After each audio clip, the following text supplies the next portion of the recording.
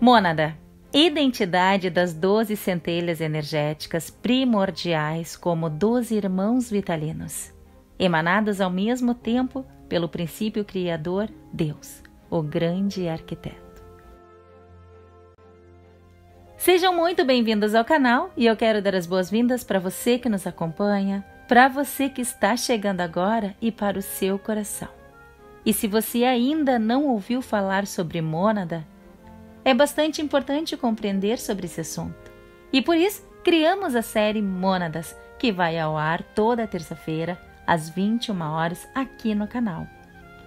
E você está convidado a acompanhar essa jornada incrível conosco. E para começar falando sobre Mônada, tem sua própria identidade como uma família humana, a qual é constituída pelos pais, filhos, netos, tios, sobrinhos. Nas famílias humanas prevalece forças genéticas, unidade que constitui o elo consanguíneo que gera a conexão dos pais com os filhos, dos filhos com os irmãos.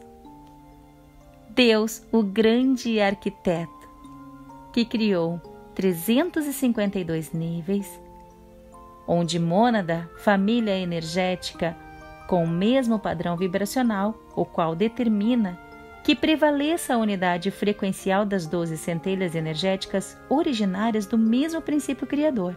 São as doze centelhas primordiais conectadas com as doze hierarquias da luz, que quer dizer doze centelhas primordiais vezes doze hierarquias da luz igual a 144. Isso gera consciência do núcleo indivisível 12 vezes 12, que é 144, que gera consciência do núcleo indivisível dos 144 avatares, que é a identidade primordial da criação. Então, para entendermos melhor, são 12 as hierarquias de luz. Cada hierarquia de luz é composta por 12 mônadas. Cada mônada é constituída de 12 centelhas energéticas primordiais. Essas 12 centelhas energéticas primordiais conectam-se com as 12 hierarquias da luz. Por isso, 12 vezes 12 igual a 144. São as 12 centelhas energéticas primordiais conectadas com as 12 hierarquias de luz que gera a consciência do núcleo indivisível dos 144 avatares cósmicos da criação. A consciência dos 144 avatares é a identidade do arquétipo divino da personalidade da criação. Merkaba constitui no corpo energético vibracional do núcleo, que é a consciência dos 144 avatares cósmicos, corpo sonoro de Deus, que emana em todo o universo Om.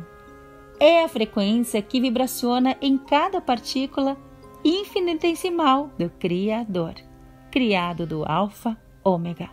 Mônada, campo magnético, identidade das doze centelhas energéticas primordiais, vibrando coesa, numa escala de frequência mil vezes mais ampliada do que quando e quanto se originou. E isso quer dizer Mil vezes 12 igual a 12 mil. 12 mil vezes 12 igual a 144 mil, que são os 144 mil avatares, são os guerreiros da luz que gera a malha galáctica, malha cósmica, malha planetária. Gene da mônada que constitui em cada partícula infinitesimal da criação. Este é o gene da mônada que constitui. A mônada é partícipe do em Criador Criador, através do qual Alfa Ômega, a energia primordial da criação, manifesta-se.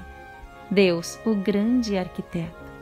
No centro divino, astrônomos descobrem, bem no centro da Via Láctea nebulosa torcida, como se fosse uma dupla hélice do DNA, com um comprimento de 80 anos-luz duas cadeias intercaladas enroladas, uma na outra, como uma molécula de DNA.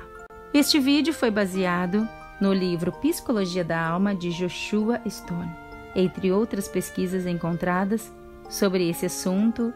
Gratidão por assistir ao vídeo e se você gostou, inscreva-se no canal, clique no sininho para receber notificações de novos vídeos, contribua com a nossa comunidade deixando seu comentário e a sua sugestão é muito importante para o crescimento e o desenvolvimento do canal. Curta, compartilhe. Gratidão por apoiar e acompanhar o nosso canal. Desejamos bênçãos, muito amor, muita paz e muita luz para todos vocês e para nossa amada Gaia. Gratidão.